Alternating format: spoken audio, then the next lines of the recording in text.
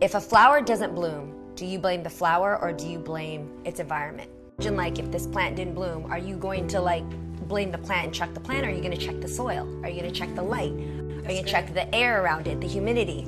Because that's the reason why the plant grows, right? So we are that flower, right? But if we're not growing or we're not sprouting or blooming the right way, what is your environment? Who are you talking to? What Instagrams are you scrolling? What things eh, are you filled with in your feed? What's your mind constantly talking about, even if it's about your body?